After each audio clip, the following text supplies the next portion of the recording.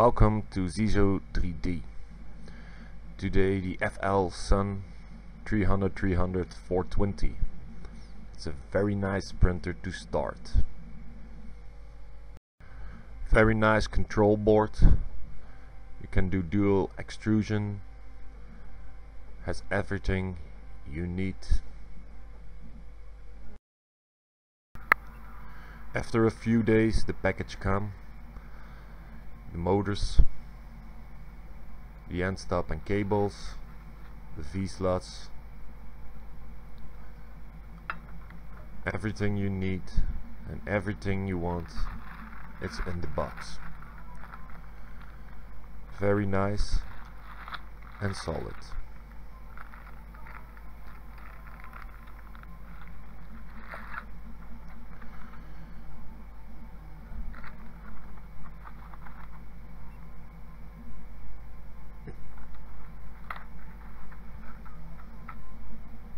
This is the cable for the Z motors from 2 to 1.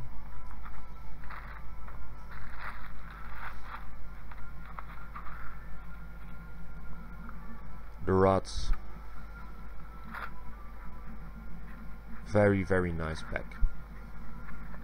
Recommended to start the printer.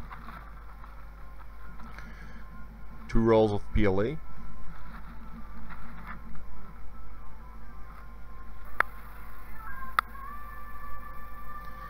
I unbox the box and every screw is in a, a different bag every bag has his stacks.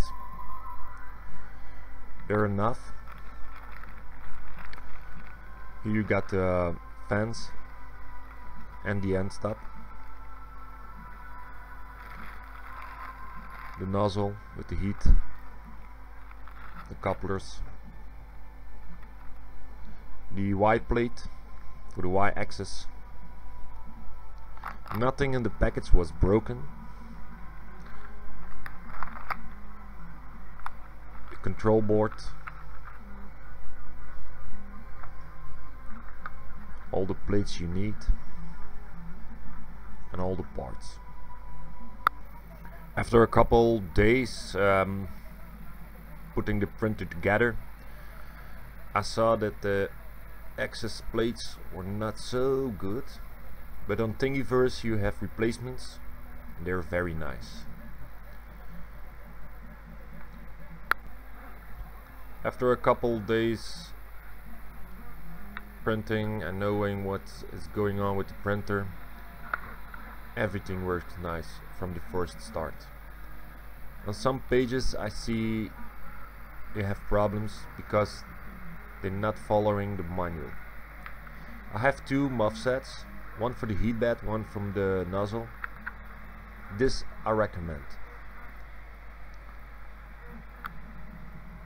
One thing I have to say is the Z motor, uh, the X motor, this cable is too short, but that's not a, a problem. This is uh, from uh, connected to Astroprint and uh, a print I did I think day 3 or 4 after assembling. Very smooth and nice.